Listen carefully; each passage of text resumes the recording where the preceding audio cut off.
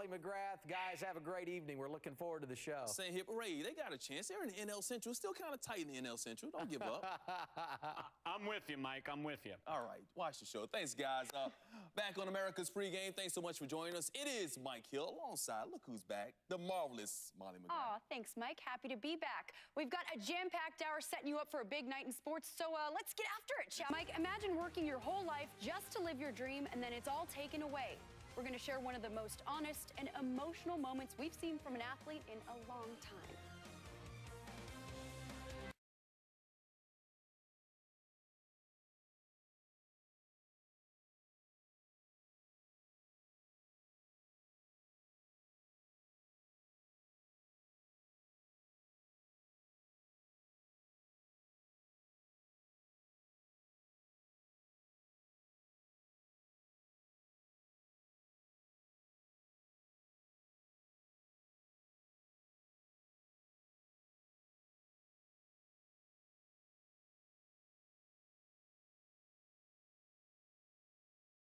All right, guys, we have a big Colgate smile on our faces right now. We could do a commercial for Colgate because uh, it's Mike Hill, Molly McGrath, America's marquee matchups. But uh, what are you watching tonight?